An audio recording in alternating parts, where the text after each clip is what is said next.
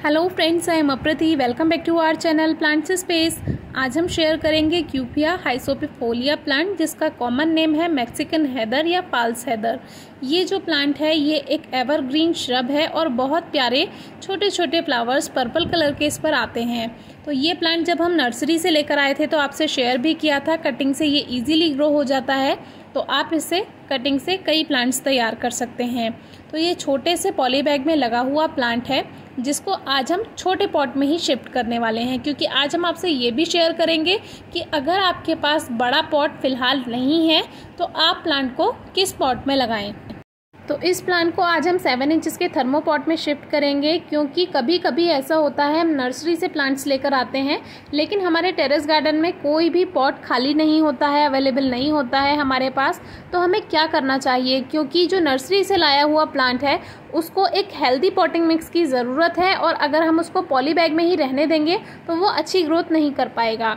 तो फ़िलहाल आपके पास जो भी छोटा पॉट है, आप उसमें ये प्लांट या कोई भी प्लांट जो आप नर्सरी से लेकर आए हैं, वो शिफ्ट कर दीजिए और वो प्लांट नए पॉटिंग मिक्स के साथ अच्छी ग्रोथ कर लेगा। और जब भी आपके पास नया पॉट अवेलेबल होगा, तब आप उसको उसमें शिफ्ट कर सकते हैं नए पॉट में, क्योंकि तब तक उसकी रूट्स काफ़ी अच्छे से फैल चुकी होंगी और वो ईजिली पॉट से बाहर भी आ जाएगा। तो जैसे कि हमने ये जो प्लांट है, इसकी पॉली बैग हटाई तो आप देख सकते हैं कि इसमें रूट्स ऑलरेडी इतनी फैली हुई हैं। तो अब इसे नए पॉटिंग मिक्स की ज़रूरत थी, नहीं तो ये जो रूट्स बाउंड इसकी हो जाती हैं, अगर बंध जाती हैं तो फिर ये अच्छी ग्रोथ नहीं कर पाता। ऐसे रखा रखा ही ये सूख जाता क्योंकि आजकल गर्मियों के दिन चल रहे हैं और टेम्परेचर हाई होने लगा है।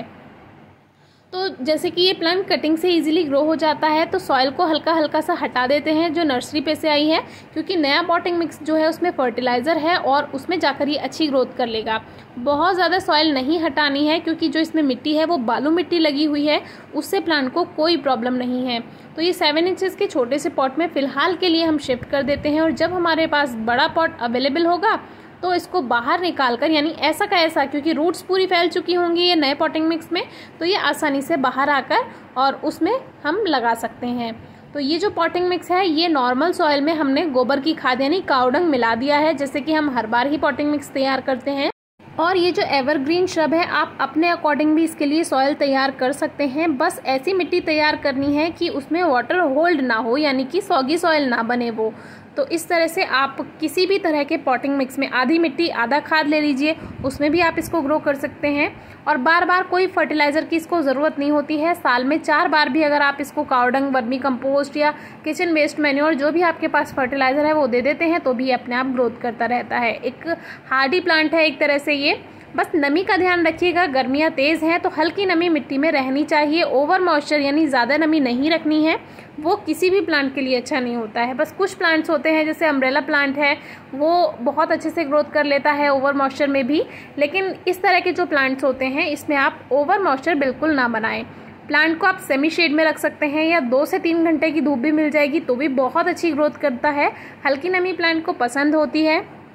और ज़मीन में लगाएँगे तो ये श्रब अपने आप ही काफ़ी ज़्यादा ग्रोथ कर लेती है, फैल जाती है। और कटिंग से ये प्लांट इजीली ग्रोथ कर लेता है रेनी सीज़न में या स्प्रिंग सीज़न में। कटिंग से ग्रो करके ज़रूर देखिएगा, आपको हंड्रेड परसेंट रिज़ल्ट मिलेगा। अभी इस पर कम फ्लावर्स हैं क्योंकि नया नया प्लांट नर्सरी से आया है, लेकिन आगे जाकर ये पूरा प्लांट टाइनी फ्लावर्स से छोटे छोटे फ्लावर्स से भर जाता है। रीपॉटिंग के बाद किसी भी प्लांट को डायरेक्ट सनलाइट में ना रखें दो से तीन दिन और दो से तीन दिन के बाद आप उसको सेमी शेड में रख सकते हैं और फिर उसके बाद आप डायरेक्ट सनलाइट में रख सकते हैं। Thank you